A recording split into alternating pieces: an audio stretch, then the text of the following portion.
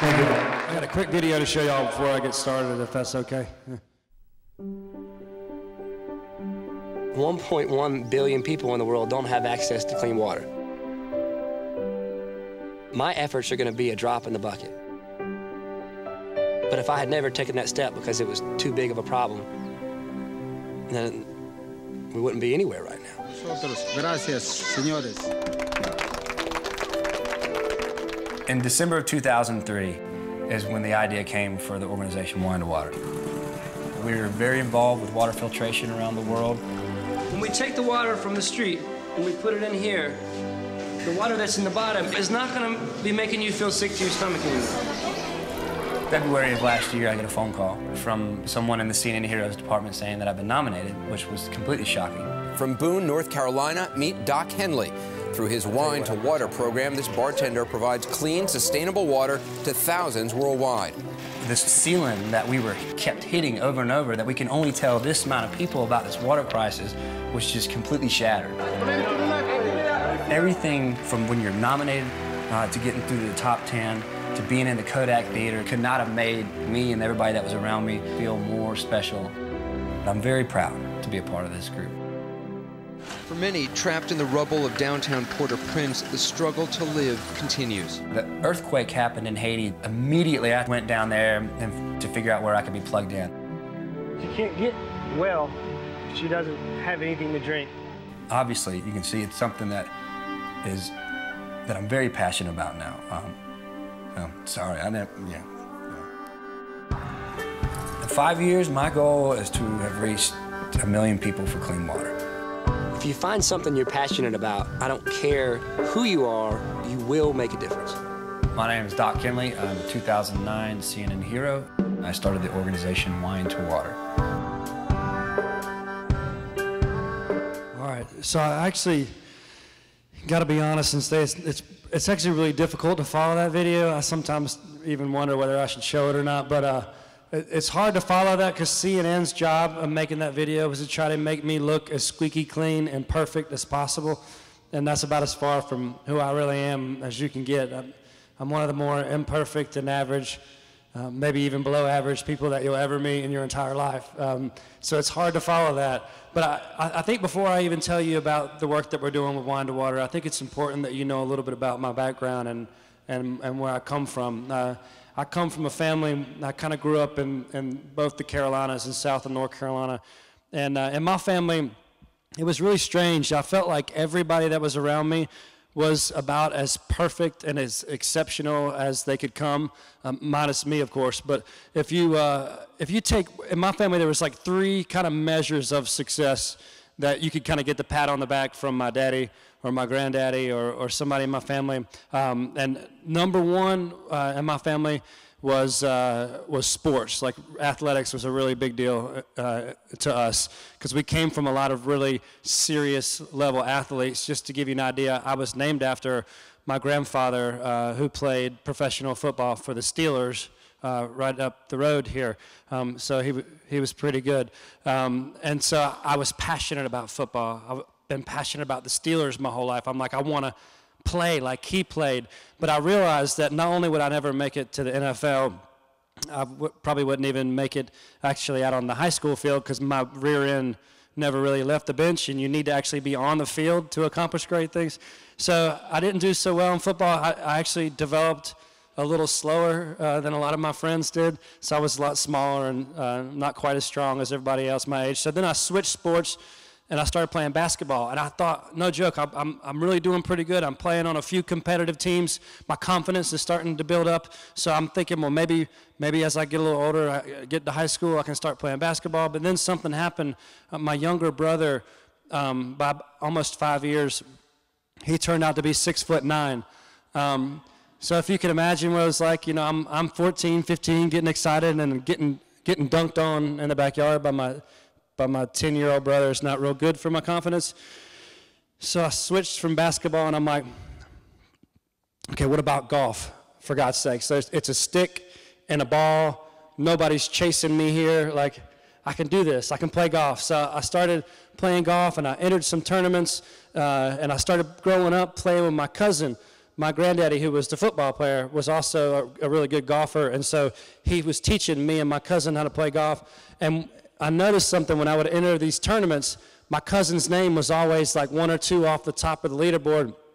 And unfortunately, mine was always like one or two off the bottom of the leaderboard. And uh, so I hung up the golf clubs. And of course, my cousin went on to play. Uh, he, he's on the PGA Tour right now. Uh, he won the U.S. Open just a few years ago. His name's Lucas Glover. Like he's playing this weekend in whatever big tournament is there this weekend. And so, you know, I didn't, I didn't make it in sports. Um, so then I shifted to number two in my family was academics. That was really important. How good are you at learning and stuff? And that one didn't work out too well for me either, because um, I, I wasn't like my sister. I, I could, I could just, I was in awe as I watched her grow. Uh, you know, she could sit in the classroom and just just listen to all the words the teacher was saying, and they would just stick in there. She could remember them all and then put them on a test. And no joke, she only made one B in her whole scholastic career. Like she was top of the class. She had all these, when she graduated, all these different colored things hanging around her neck and like really important. She went on to be a, graduate student and then even, I think, further past that. I think it even, she was in school for a really long time. Um, but for me, I, I, when I made a B, like when she made that one B in her whole scholastic career, she literally cried. I saw her. It was a disaster. If I made a B, I would also literally cry, but it was like a totally different reason for the tears. Like I wasn't, I didn't see a lot of those B's, so they were like tears of joy. Um, I, I learned later in life, I just thought that I was stupid growing up, but I just, I learned later that I can't I can't just sit at a desk and have some teacher preach at me all week and I can remember all that and put it on a test. Like I have to, I have to see it and touch it and feel it before I can really understand it. Um, but I didn't know that until much later after school. So I grew up just thinking I'm not good enough in the athletic world. I'm not good enough in the scholastic world. And the third one in my family, which really is actually the most important to them, was on the spiritual side my daddy was a, um, was a preacher man when I was growing up. And, you know, I didn't really understand that whole world, uh, um, especially then. I, th- I, think, in my view, in my mind, the, that whole world just meant to me that I had to learn how to follow a lot of rules and regulations. And unfortunately, I think the one thing in my life that I was really good at actually was was breaking rules. Like that was like the one thing I could do really well. So unfortunately, that didn't go over so well with a daddy who was a preacher man, because the one thing I could do is actually um, break a lot of rules and, and do, that, do that very uniquely. Um, so I, I, I, grew up butting heads with my father uh, quite a bit and not, and, um, not seeing eye to eye on a lot of things. Um, and so I got to a point where I'm, I'm not too far out of high school and I've gotten so frustrated just with life in general there in the Carolinas that I just wanted to be as far away from that whole world as I could get, from always having to measure up to my siblings or always having to measure up to my cousins or my friends and constantly coming short. Um, so I took off on my motorcycle. I'm a pretty avid motorcycle rider. I took off and I actually landed uh, for a while out in Montana. I have family out there and um, and I had this dream that I would just melt away into the mountains of Montana and just be a cowboy. Um, I remember like the old Marlboro Man commercials when I was little, and I, I wanted to be the Marlboro Man and just go out and just be by myself, alone, working the range. And um, so I did. I got a job actually uh, working on a horse ranch out there. Unfortunately, it wasn't quite like the old Western movies or like the Marlboro Man billboards, like I, I spent about 90% of my time shoveling horse manure. Um, and uh, I actually, it, it didn't pay very well, so I had to live in a barn most of that year. I lived in the barn with the horses that I worked with. Um, so it wasn't quite as glorious as I had hoped it would be, but something really important happened to me when I was there. And I think, I guess I was about 18, 19 years old at this time. And for most of my life, I felt like the world around me was just screaming at me about how I wasn't good enough. I wasn't like everybody else. I'm not like my sister. I'm not like my brothers. I'm not like my dad. I'm not like these people. And I feel like when I was there, because I had so much time by myself and alone, that that voice just kind of just went away. And I think it was there with the first time I ever just started to listen to something that I couldn't really make out very well, but it was much deeper inside of me that that was I could feel it, that it was more encouraging and that it, it urged me not to give up on life and urged me forward like there there is something for me out there. I I am not a complete lost cause. Um, but I also heard something else it was my mama on the phone screaming at me constantly, trying to get me to come back to the East Coast and trying to get me to go back to school. And so finally I gave in and I started going uh, to school at uh, North Carolina State University. I had to go to community college first to get my grades up a little bit to where I could be accepted. And so I finally got accepted to North Carolina State in Raleigh. And as I'm working my way through school, I found a job that I actually really fell in love with. I started out as a server, just serving people their food you know, and I actually really loved that job. One, it was way better money than what I was making back working on the horse ranch. But not only that, but I actually loved the interaction that I got to have with people every day. I loved being the guy that, like, if I did my job right, let's say people were coming in on Sunday after church and they're sitting together as a family meal and I got to serve them their food. If I did my job well, I really, I actually could have an impact on their day, a, a positive impact. And if I'm happy and having a good conversation, they could walk out of my restaurant like with a smile, like just because of my job that I'm getting paid for. So I started to really love the restaurant industry. And then a few years go by and I got thrown behind the bar to be a bartender. And no joke, when I got to be a bartender, like I thought that I had arrived at life. Like this is this is the epitome that life has to offer a guy like me. Because now I'm making even more money than I was serving. But even then, that's not really why I fell in love with being a bartender. I love being a bartender because I know I could sit at my bar and it was an old Irish pub that I was my last place I worked in, and I'd sit there at happy hour, and there'd be like the CEO of some company sitting here in his white collar, you know, sitting next to a school teacher, next to a stay at home mama, next to a construction worker. You know, they were all walks of life there. And none of them were there to like sit and measure up to each other. Like they were all just there to just just take a deep breath, have a good conversation, forget about their day, talk about the game on TV or whatever. And I think it was maybe one of the first communities that I really felt welcome, that I really just got to be myself. I didn't have to be anybody else. I didn't have to dress different. I didn't have to talk different. I just got to be me. And so I, I really was happy being a bartender, and honestly, I didn't think I was going to do anything else but that. So why am I up here and not back at the bar? Um, I don't really know. I don't really know why things happen the way they do, but I, I can remember exactly when it all started to change for me. I was telling a group earlier today that I got to hang out with um, that asked me kind of what was the moment that it all started. And I remember it was like, this was December of 2003. I also play a little bit of music at the bar that I work in, and I'm not even really a, that great of a musician, but uh, but that's why I, choose to sing like Merle Haggard and Johnny Cash and like old country songs because you know you don't have to be an amazing American Idol singer to sing Johnny Cash for goodness sakes. You know I could wake up in the morning with a cold and sound better singing Johnny Cash. So I just got done singing a gig. I'm sitting at the bar, and my best friend in the whole world at the time, uh, her name is Tasha Sullivan. We're very, very close. I really looked up to her because um, not only was she a bartender in town, but she somehow found time in her week and she volunteered at the local hospital there in Raleigh.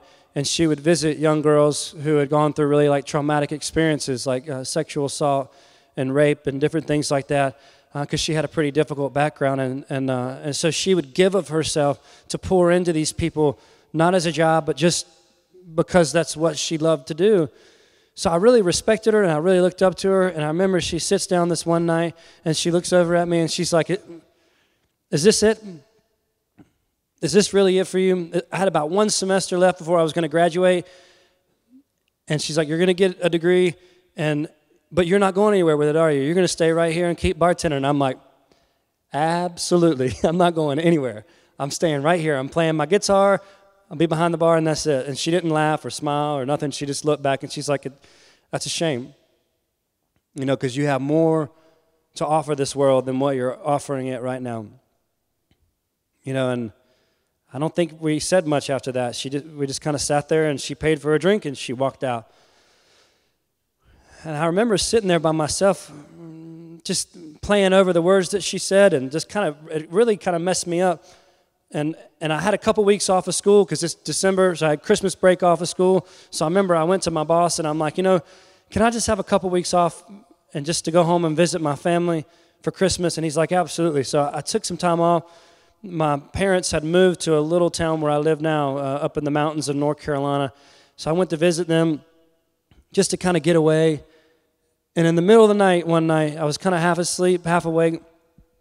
I had this phrase that you see on the screen there. I had wine to water, and it was just stuck in my head over and over like a, like a broken record, like wine to water, wine to water, you know. So I kept thinking about it, and I kind of woke up or whatever. And, and I first thought, you know, I actually like to write my own music, uh, even though I didn't really play it out for anybody. Um, so I keep a pad and pen near my bed so I can write stuff. So I grabbed the pad and the pen, and I first started thinking, well, wait a minute, this is this could actually be a really cool idea for a really cool country song. You know, like maybe that's what my friend Tasha was talking about. Maybe she saw in me the ability to be a great singer, songwriter, country music star, you know. So, you know, my favorite miracle that my daddy told me about growing up was with the words the other way around, the water to wine story. And I, there was a lot of thing about scripture that I didn't understand, but there were some things that just spoke to me, I feel like. And that story is one of those things. I loved the story that you've got the God of the universe comes here in the flesh. And out of all the miracles he could have chosen to do, out of all of them, whether it's feeding thousands of people, whether it's healing people of their ailments, whether it's raising people from the dead, he started his ministry off because a wedding party had ran out of wine. And to me, the reason why that always spoke to me was because I, I feel like we put God so far away because He is so big and He is so powerful that we think maybe He doesn't really care about the little things. And He does.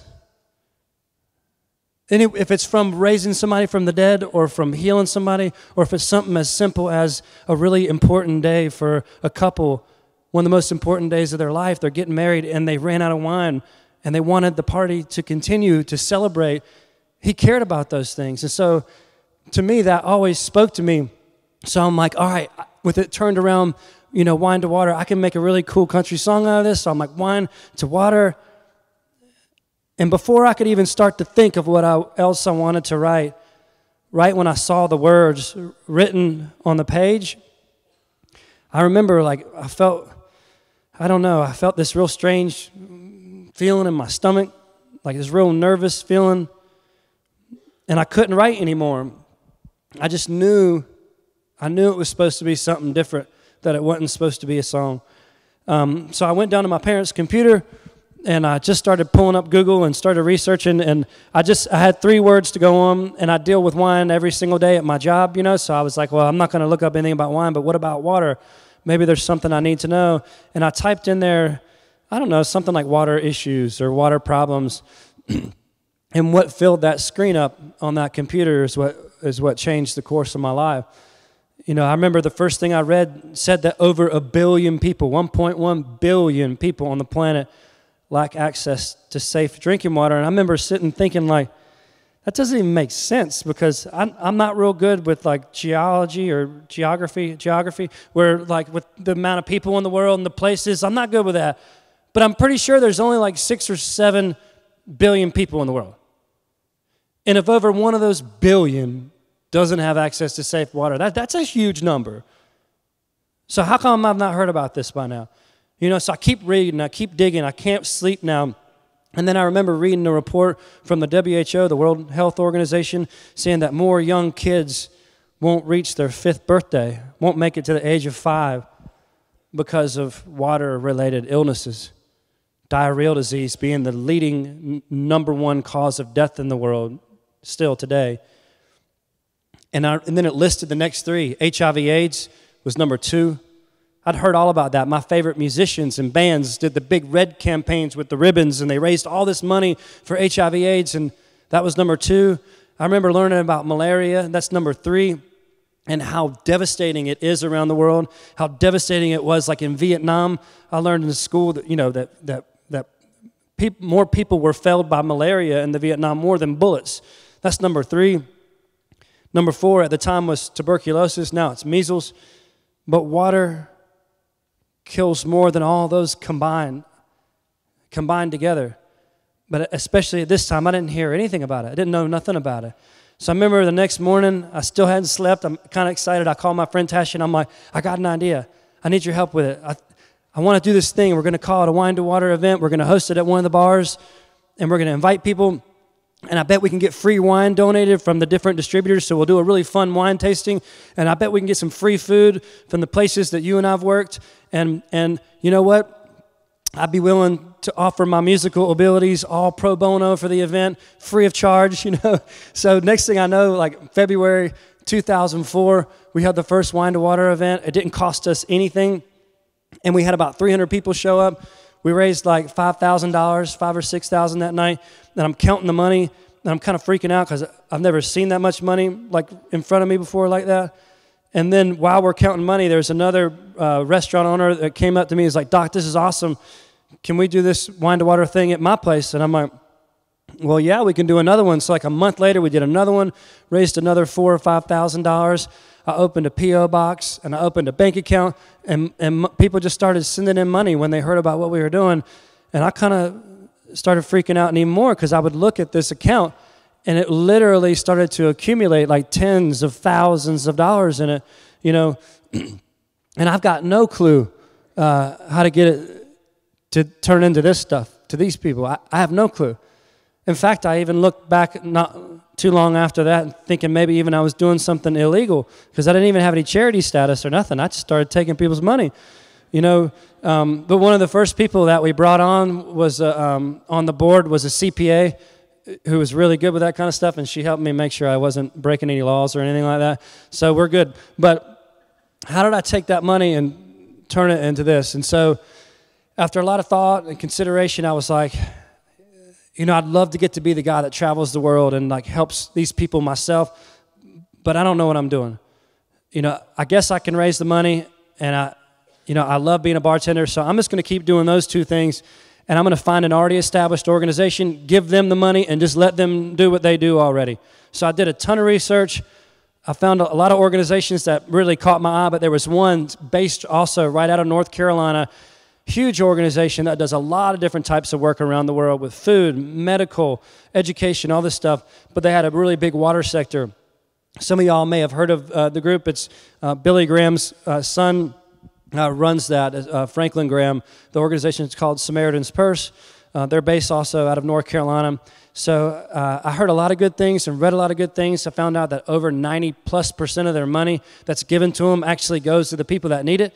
So I thought that was really cool because I worked really hard to raise this money and I didn't want it just to go to somebody's personal jet, you know. And so I went and got a meeting, and my whole thought in getting a meeting where somehow I, I was able to meet with the head of all their international operations.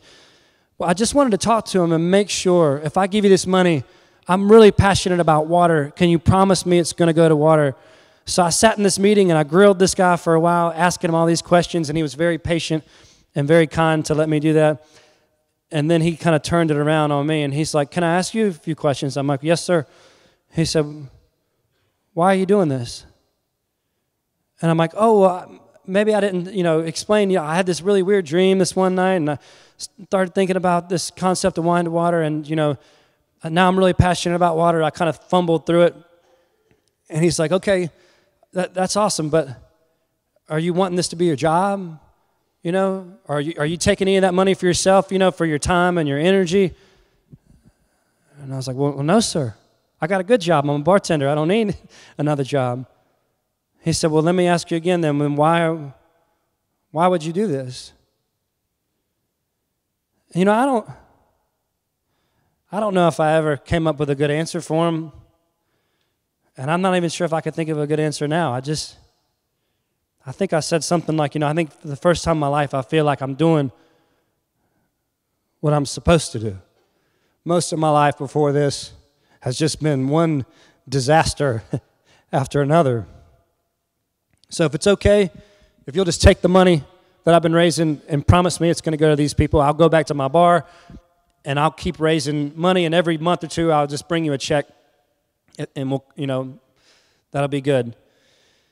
And he kind of looked at me and he's like, I'll tell you what, I got a better idea. How about you go back to your bar and how about you put in your two week notice? And how about you come work for me? Um, why don't you let me send you to any one of the programs that we work at around the world that have to do with water? Because um, I think you need, it's important for you to see what's happening. I think you're onto something. I think your wine to water idea that you've had, I think it really has the opportunity to help a lot of people, but you really need to see it for yourself in the field. Then you can take the two things that you've got and put them together the ability to raise the money and reach people here, and the ability to actually see what it's like in the field you can put those two together. So he said, you know, where where you think you would you like to go? On a map on a wall, he had this big map, and I remember looking at it, and I was really overwhelmed because um, I, I, didn't understand anything about that, where, different places where the needs were, whatever, and um, and so he's like, you know, what are you what are you thinking? I'm like, well, just you know what, just send me to the worst place on that map that you guys are working, the worst place. They had all these little pins all over the map. And he's like, the worst place. I'm like, the worst place. And a lot of people think when I said that I was being brave or courageous, and that's not the case. What I was actually thinking is if I've never really been that confident in myself or ever really viewed myself as the most intelligent person in the world, well, gosh, even if you put me in the most god awful place on the planet, I'm pretty sure I can't screw that place up any worse than it already is and I'm pretty sure I'm making even do a pretty good job there. You know, so he said, he's like, all right, well, I'll tell you right now, it's going to be between Afghanistan, which this is 2004. We're in the middle of a war. There's a major water crisis going on there. And he's like, we'll have a team of people that can meet you and help you learn what you need to do. But there's this other place right now that's getting really bad in the western region of Sudan. It's called Darfur. And for years, there's been like a civil war happening there, but now that civil war has turned into a genocide where the government of Sudan is systematically extinguishing the population of Darfur because of, of the color of their skin. And they're using water in a lot of places to do it. They're shooting up the wells, they're polluting the water sources. And um, so, not only is a civil war turning into a genocide, it's in sub Saharan Africa. So, sometimes temperatures are going to get to be where it's like 115 120 degrees. Sometimes they even go higher than that. Um, and on top of that, it's such a new, really bad crisis that we don't have anybody there right now. You'll be one of the first people on the ground, and you're just going to kind of have to figure it out. So I was like, okay, war, genocide, desert, alone. Okay, I guess that's the worst place in the world. You can send me to Darfur. So this is now six months after my very first event in Raleigh, um, this would be like August of 2004, I was on a plane to this place here. This was the very first camp that I worked in, uh, or it was a village that turned into like a refugee type camp. Um, and there was about 10,000 people, eight to 10,000 people in this place called Marla. And this is one of the first places I worked. And I remember I had a little point and shoot camera with me, and I snapped this picture because I'm like, all right, these these women and kids are off to get their water. You know, where are they going? So I snap a picture, and I start to walk with them, and literally like like two hours plus later or whatever it was, we get to where their water hole is, this nasty hole in the ground with this muddy water. You can see by their buckets. I mean. It, it's not a good situation. And they get that water, and then the big ones that are five gallons, water weighs about eight pounds a gallon, so that's like 40 pounds then they're carrying those back to their little tents back there. Um, so they spend most of their day doing that. And then come to find out, obviously, it didn't take much uh, research and digging to find out the biggest reason why the kids were sick and unfortunately dying in the camp was from really bad stomach diarrheal disease and dehydration from the diarrheal disease that came from drinking water that looked more like chocolate milk. Um, and so we put a water system in for this for this refugee camp for this village, and it wasn't the most sustainable in the beginning. I just needed to fix it fast until I could figure out a more long-term solution. That's kind of how I work in my life. I don't always use my brain first. Sometimes I just do first, and then I think about it later. So the the idea was to let's find the nearest clean water well we can find. I couldn't afford to put a new well in.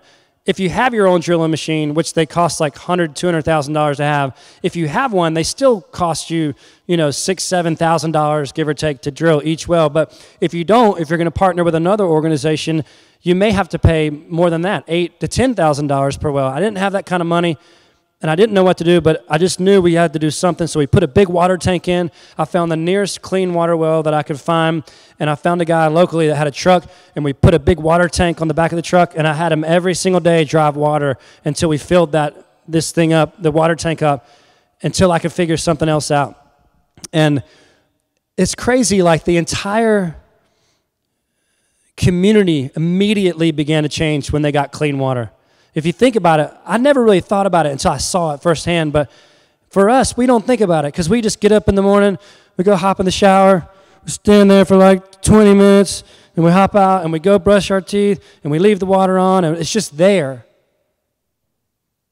But for them, the most of their life having to walk four or five hours to get it, the second they have it just three, four minutes away, it changes everything.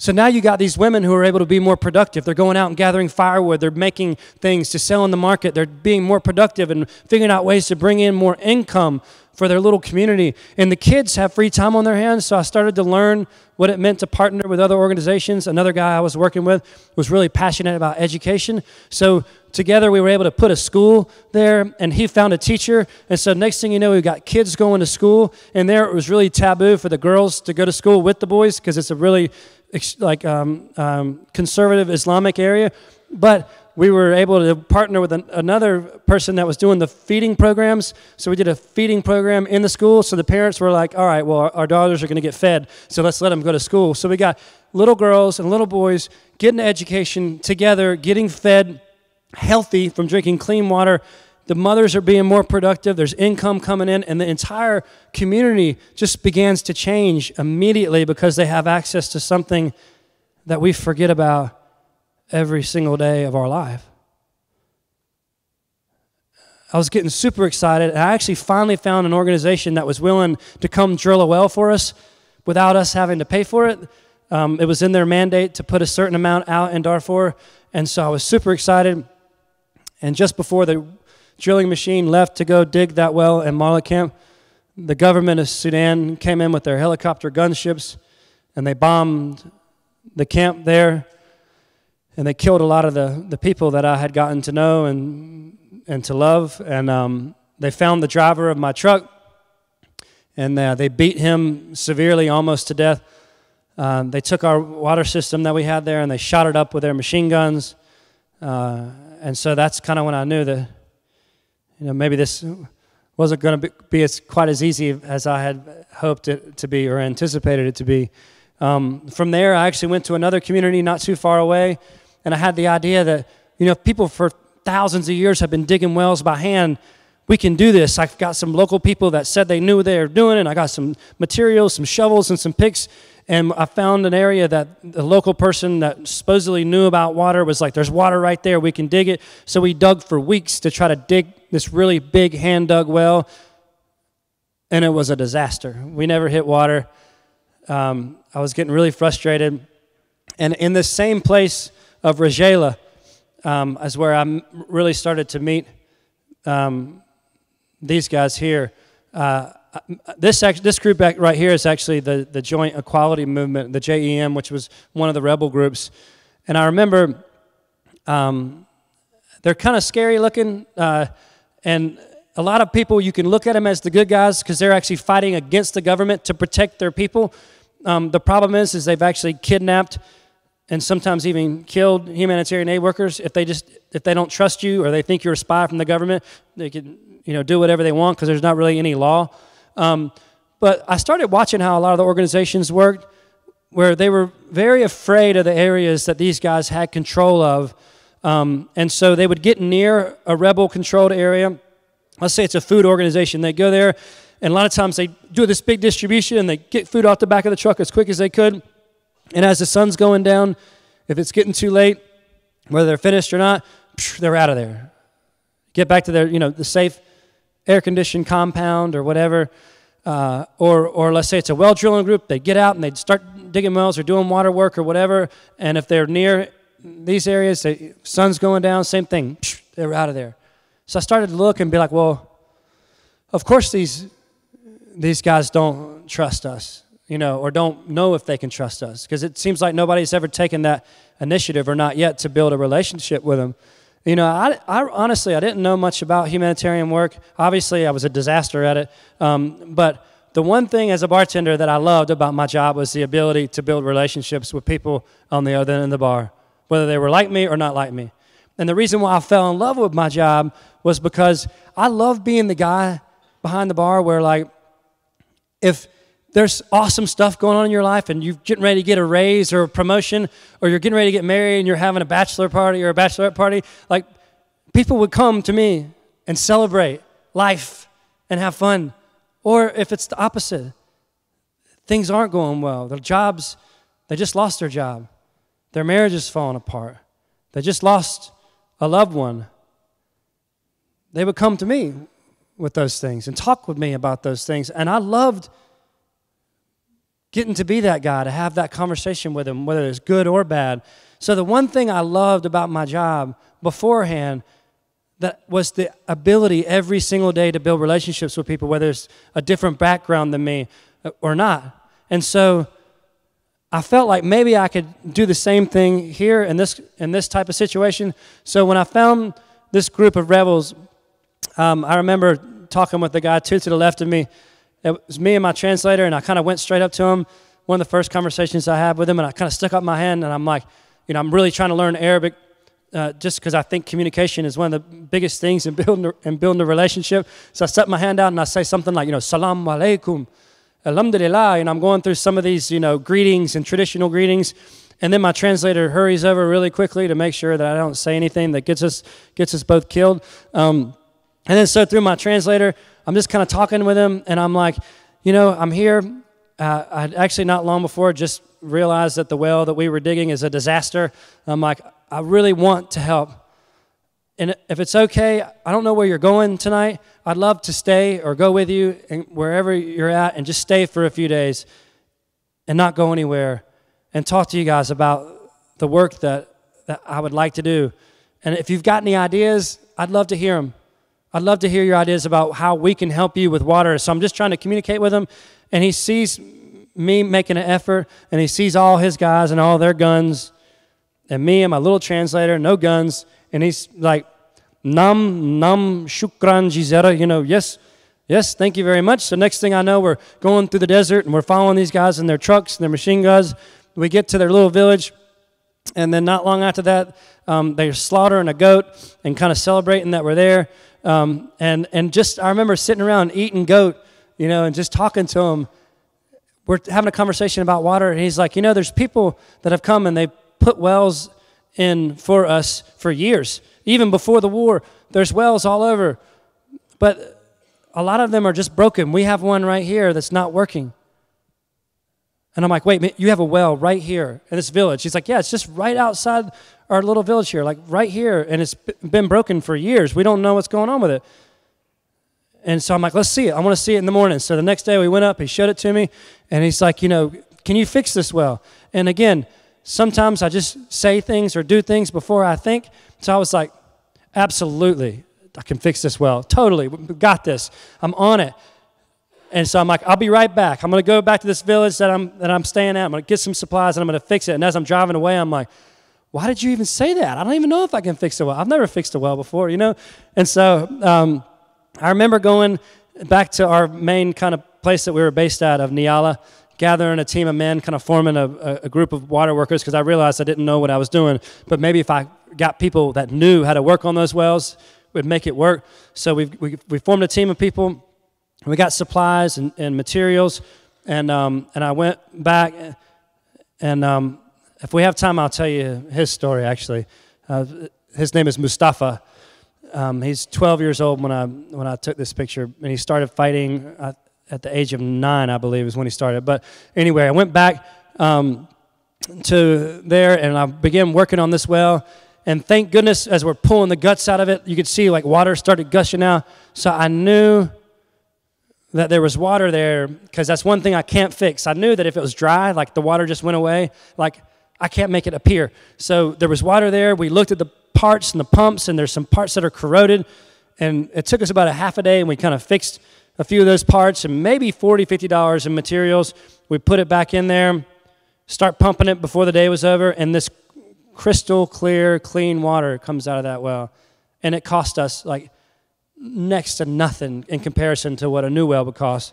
So I got super excited. I'm like, can you tell me where more of these wells are? So for, for weeks and weeks, me and my guys would travel all around the desert fixing wells, and he picked up that thing that was hanging around his neck was a satellite phone, so he could call other commanders, and he called this other commander. He's like, yeah, I'm going to send you this guy. He's going to help fix all the wells in your area, and you don't want to shoot him when he comes there. He's an American guy, but just take care of him because um, he really can help to fix these wells. So he sent me to another area called Jebel Marra, which is like a mountainous region there uh, that the rebels had a stronghold in. So we're fixing wells all throughout Darfur, and then it kind of hits me one day when I'm like,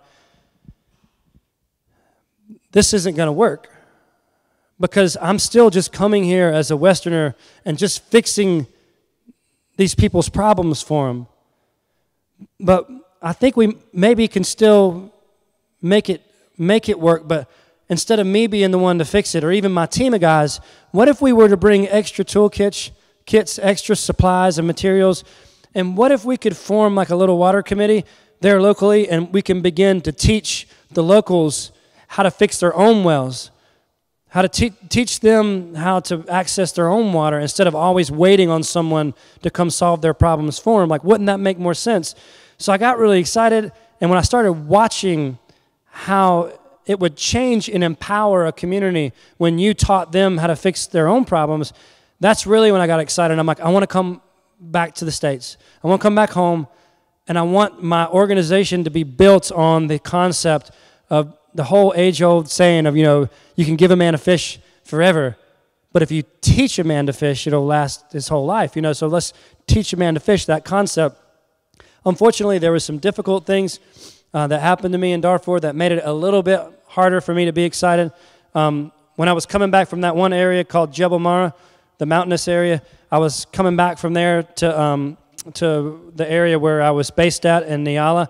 And um, on one of my trips back through, um, we had a little bit of an incident where when I was coming back through, there was the, the bad guys that were doing all the killing, who the government hired and basically paid and, and funded to do all the killing in Darfur were, were called the Janjaweed, which in the local language means the, the evil horsemen.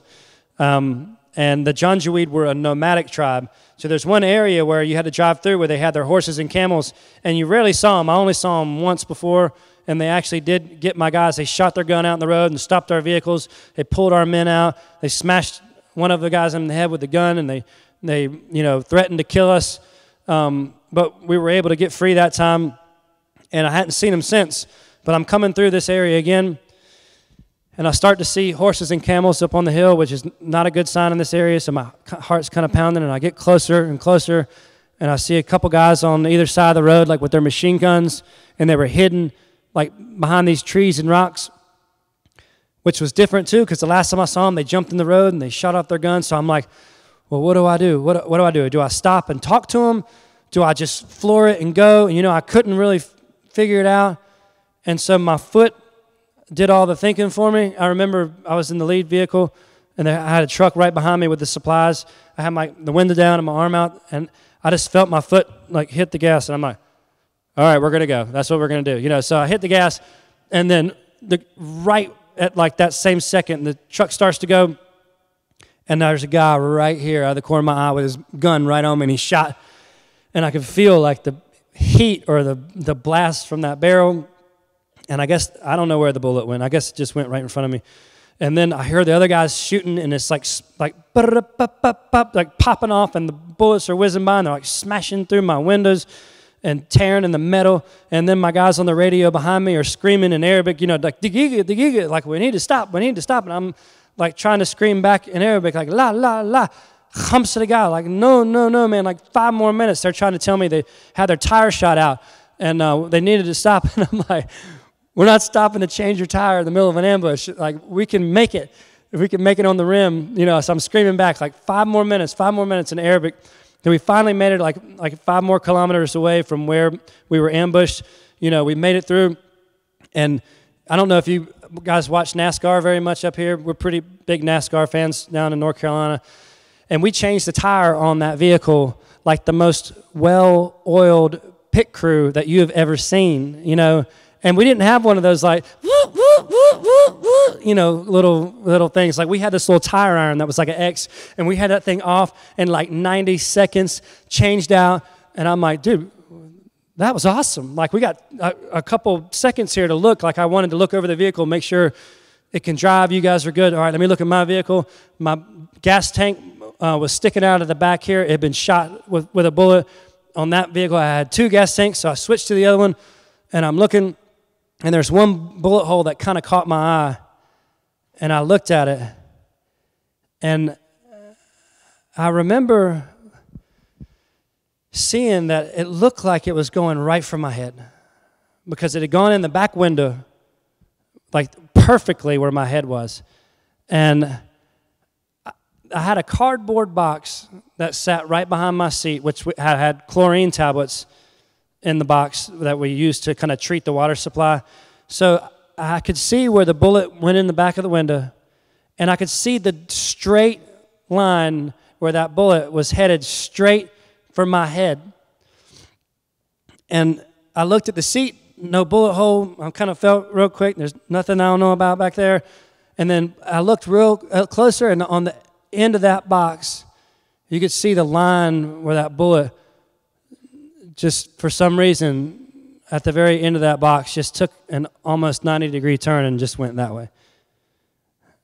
And I remember like kind of looking and look at the new line, put my finger like this, and sure enough, I could see like a little, little teeny hole, and I could look out the window of the truck, and I saw this big bulge of metal where, for some reason, that bullet went straight in, took a turn, and went that way. And to be honest, like I remember that that day very fuzzily. I don't, my adrenaline was pumping a lot, but that thing that was vivid to me. Um, but I didn't really process it, I don't think. My adrenaline was pumping so much, even for the weeks later. But I look back at that day a, a lot now. My life's taken a thousand different turns since that day. But I think that was the first day I can look back on and know for certain that that I am doing what I'm supposed to do. And I know for certain that no matter if there's a difference of views and opinions between my mama and my daddy and me, that every day, every day that I was there, I knew, I knew that they were praying for me. And I believe that that day that those prayers were answered. And so I continue to work. Um, the United Nations was very gracious. They airlifted me in to Jebel Marra, so I didn't have to drive through that area anymore. And so I finished out my time working. Unfortunately, just before coming home, I was still excited, um, but the Janjaweed got a hold of one of my guys uh, not long before I came home. A good friend of mine, uh, whose name was Ismail, um, and my team was made up of half Christians and half Muslims. Um, I don't really know why I did that. I just maybe wanted to see what would happen. Um, but Ismail became a very good friend of mine, and the Janjaweed captured him and executed him so instead of me leaving and celebrating with my men the year that we had, and you know, we ended up spending our last day or so burying him and mourning his loss. And his family was very gracious. That um, they brought me to the grave site and they handed me a shovel and they taught me how to dig the grave according to their law and their culture. And that was a very honoring thing because I was very open with my men about the things that I believed. Um, but I also was very clear with them that I'm here to do one thing. And I'm here to love you guys and to serve alongside you guys. And that's it. I'm not asking you to become like me. I just want you to know that I love you. And that's what we tried to establish together. So for his family to invite me to take part of the burial was a very honoring thing, but it was a very difficult thing because I felt responsible for his death. He was a father, he had kids. At this time, I had, I had nobody but myself. So I remember flying back home across the ocean, just kind of, I didn't really know what I was going to do. I came home, I wasn't excited, I wasn't happy, I didn't want to do this anymore. And I, I think I would have given up had I not met my wife. And, um, and I met her back home in a bar, of course. Um, I was just craving like good old classic rock and some live music. And I found this place where there was like a local Lynyrd Skynyrd cover band. And so I found the darkest corner of this place that I could find. And you know, I'm just sitting having like a, a drink in my hand like this. And you know how sometimes your drink like this can miraculously turn into one of these guys right here? Um, so Freebird comes on. It's like one of my favorite songs. So I'm in the corner by myself, being that really weird emo guy who's singing to himself. Um, and I, am sitting there like in my, I don't know why, but I was like singing in my real like weird Michael Jackson falsetto voice, like, I'm as free as a bird. Like being that guy that nobody wants to talk to. And I didn't want to be talked to. But in the middle of the song, I'll turn around and look, and the doors of this place like swing open, and light shines in from the street. and this whole pack of smoking hot girls walks in the bar together. Like an entire pack of them. So I was like, whoa, you know, I've been in the desert for a year, you know. I was like, oh my goodness. But then I remembered what every bartender, we have like a few rules that bartenders know.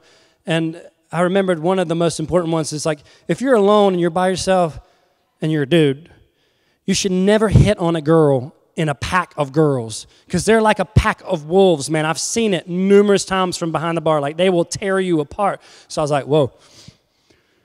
Oh, I'm as free. You know, I went right back to sing my song. I knew I had no chance. And no joke, a few minutes later, I get a tap on my shoulder and I turn around and it's the smokingest, hottest one. And the entire group had come up to me and she like sticks her hand out and she like says like, Hi, my name's Amber. What's your name? And I was like, Okay, you got this. You got this. You got this. Lower the voice. Amber, nice to meet you. My name's Doc. Pleasure to meet you. She's like, Oh, okay, so is that your real name? I'm like, Yeah, yeah. No, no, but just, just call me Doc. It's nice to meet you. She's like, Okay, so you're a doctor. I'm like, Absolutely. No, no, it's not like that. It's nice to meet you. My voice is kind of creeping up, you know, because I know the story. It's not a good story. Like, I, I want people to think that it's this cool cowboy, like Doc Holliday kind of thing going on, and that is not the case. So I'm like, just just call me Doc. And she did one of these, like, what is your real name? And I'm like, lady, I just met you. Why are you demanding my real name? Like, I'm getting nervous and a little sweating. And I'm like, okay. I was named after my granddaddy, who, the guy who played for the Steelers. His name is Dixon. Um, unfortunately, my really smart sister, who's two years older than me at the time, was only two and couldn't pronounce Dixon, so she called me Dick Doc, okay? So, for an ungodly amount of time, my family referred to me as Dick Doc, um, and unfortunately, a few of them still do. Um, but somewhere along the way, they, you know, dropped the first part and they left the second part, and I got stuck with Doc and uh, and like she was laughing by this time hysterically in my face as loud as she could which later i was to find out is her favorite thing to do in the world is to make fun of me.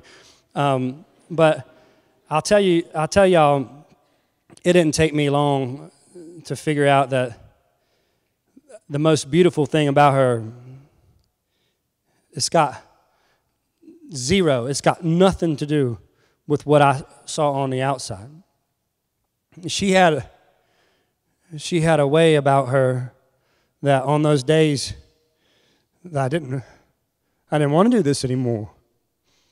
I didn't want to do none of this anymore. You know, that voice that I was telling you about earlier would come back and constantly tell me and constantly remind me of all the things in my life that I've done wrong and why I don't deserve any of this. And she was that that rock for me here in person that didn't let me believe those things.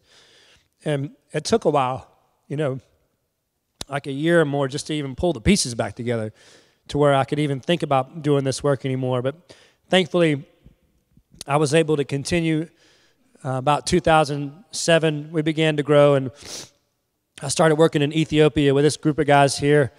All of them, minus the one in the back, grew up in the same orphanage together in Ethiopia. And they made that contraption there, which is a well digging machine made out of some broken down parts of a vehicle. That thing in my hand is an axle of a vehicle fabricated to kind of pound a hole in the ground until it hits the water table. And then they make a pump out of broken down bicycle parts and pump the water to the surface. So for a fraction of the cost of what you know you would spend digging a well with a really big, nice machine, we're able to get really nice, clear running water using all local people and all local materials so that when it breaks, which all wells break, you can fix it with local parts. So from there, we continued our work and we moved over to Cambodia and began working with this machine. We, we couldn't afford, again, the nice machine, so we built this one made out of all local tractor parts and materials.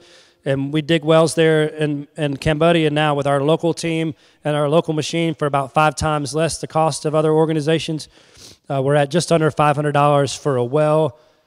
Uh, for a community, we put a well, water filtration systems, and bathrooms and latrines, all for $500.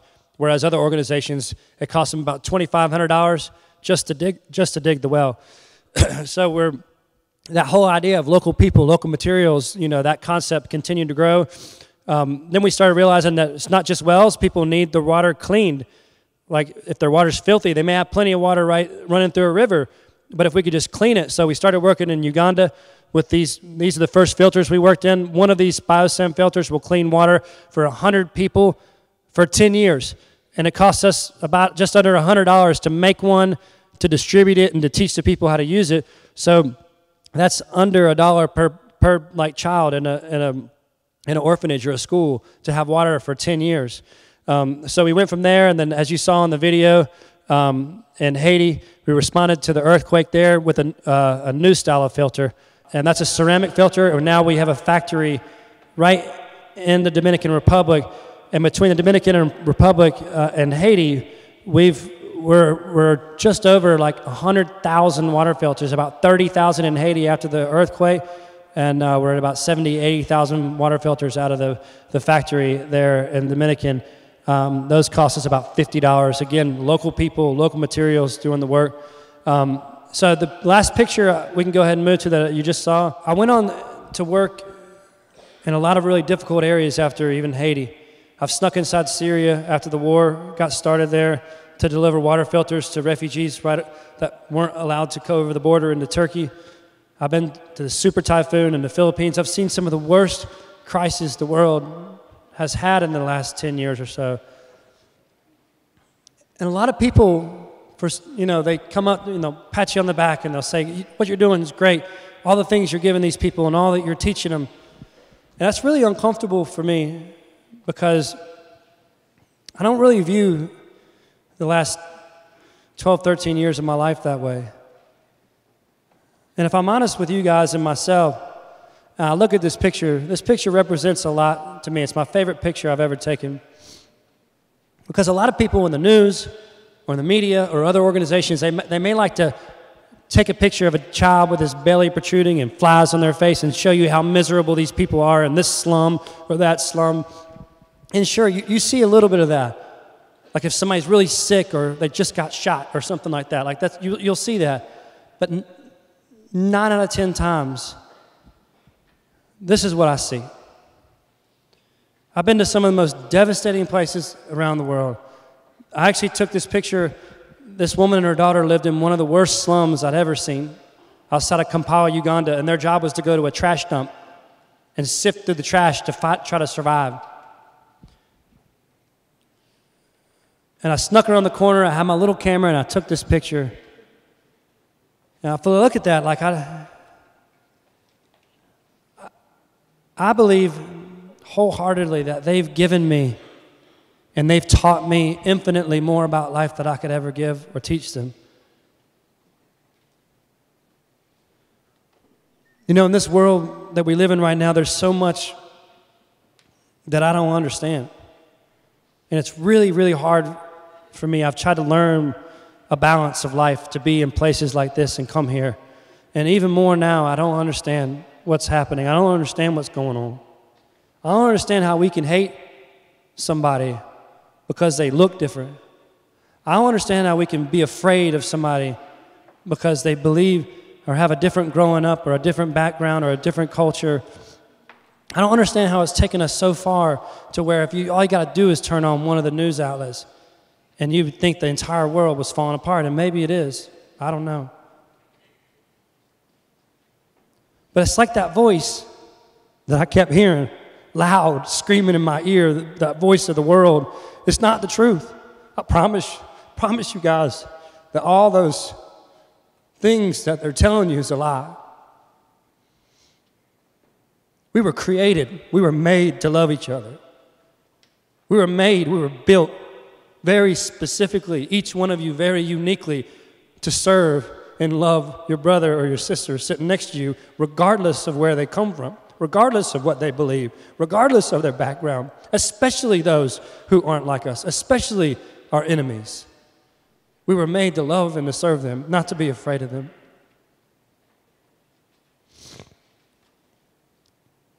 And I hope you guys know that I'm so excited and honored to be here. And the more I've gotten to know your, your school and the mission behind your school, years, not a mission that's just started this year or last year, but years and years, decades, if not centuries of, of service and love and extending out a hand to pull somebody up when the rest of the world wasn't willing to, whether it's in the mid 1800s and allowing women to come and study here. I, I can't tell you how much of an honor it is to be here and speak in front of you guys today. And I hope you continue that fight. It's a good fight. It is a great fight to continue. Y'all, God bless you. Thank you for having me.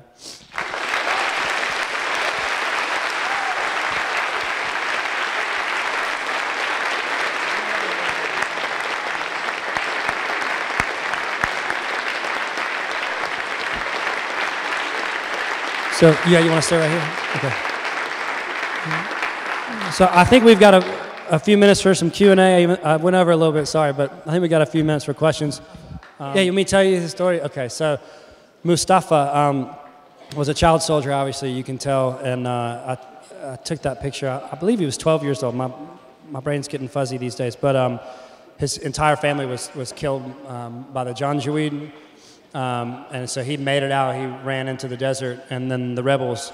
Um, he actually was with a different group called the SLA, the Sudanese Liberation Army. They came and picked him up and found him and became his family.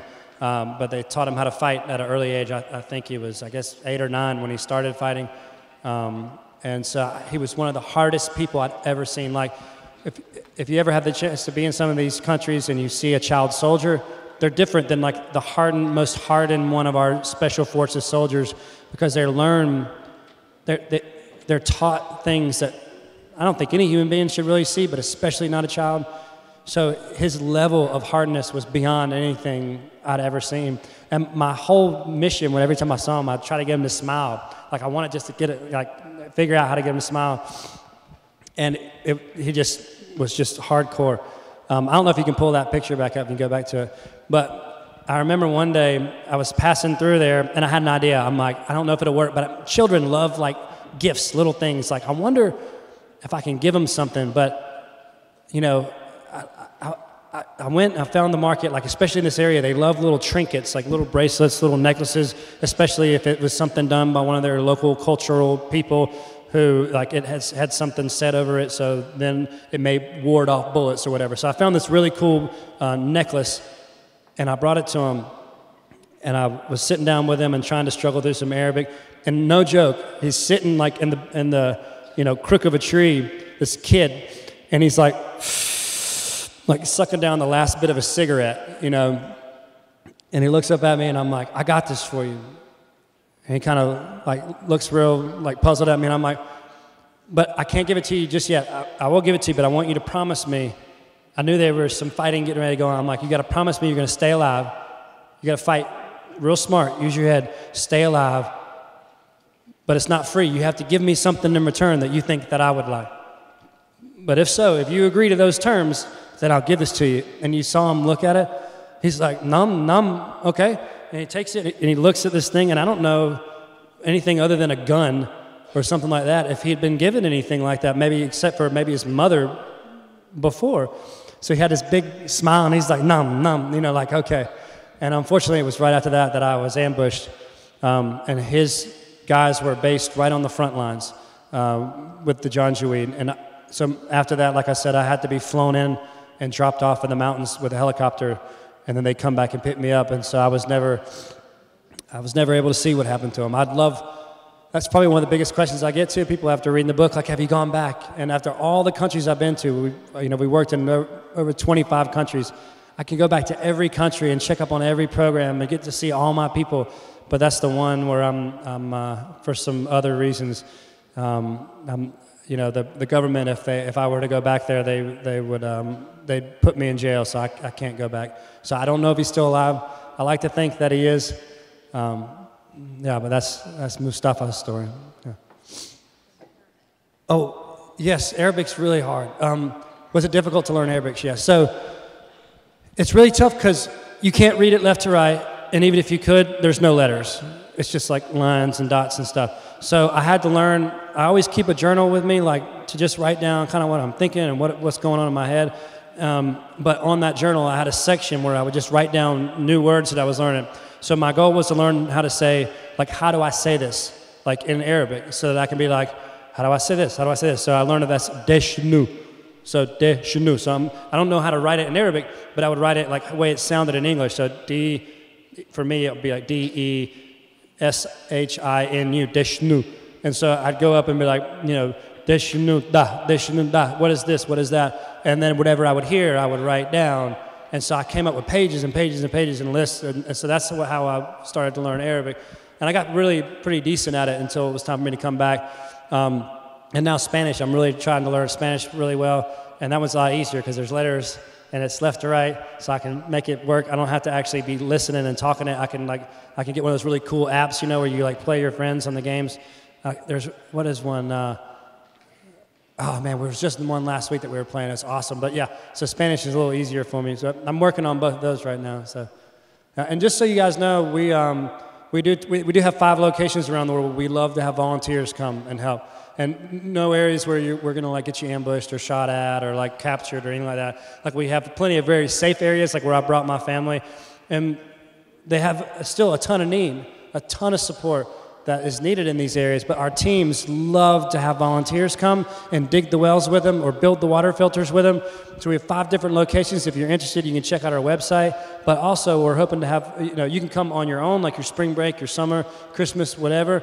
Um, but we're looking to do a trip, hopefully, through the school. And on top of that, we have different chapters for Wine to Water around the country. Um, whether they're professional chapters like Chicago or Nashville or Tampa Bay or different cities around, but we also have university chapters, Texas A&M, Florida State, uh, Hartwick College up here in, in, in New York.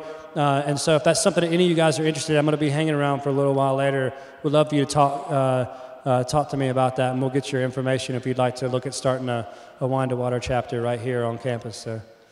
Where am I going next? That's a great question. Well, I'll probably be, I go to Dominican a lot. I'm there like every other month. That's kind of like my pet project. Um, I have three kids now. I have a nine year old, a seven year old, both boys, and I have a little three year old little girl who I'm completely smitten with. Um, so I'm trying to not travel so far around the world so often. So I, I focus a lot on Dominican and Haiti. Um, but we just really began doing a lot of work in Cuba.